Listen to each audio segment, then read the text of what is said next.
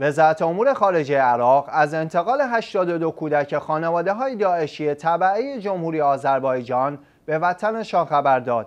به گزارش خبرگزارهای عراقی، احمد از صحاف سخنگوی وزارت خارجه عراق گفت 82 کودک جمهوری آذربایجان که همراه مادران داعشی خود در زندانهای عراق نگهداری می شدند به جمهوری آذربایجان انتقال یافتند. وی افزود که اکنون تعداد کودکان دیپورت شده داعشی های کشورهای مختلف از عراق به 828 نفر رسید.